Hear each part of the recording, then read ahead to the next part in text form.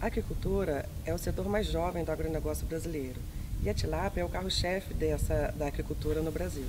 Entre os fatores de sucesso da tilápia está o fato dela já ser domesticada há várias décadas e existirem linhagens melhoradas que possibilitam seu cultivo em várias regiões do Brasil em diferentes sistemas de produção, incluindo a aceitação de sistemas intensivos de produção que permitiram então o salto produtivo da espécie no Brasil. Um outro fator importante também para o sucesso é a sua alta demanda de mercado para os produtos da tilápia, tanto no mercado interno quanto no mercado externo.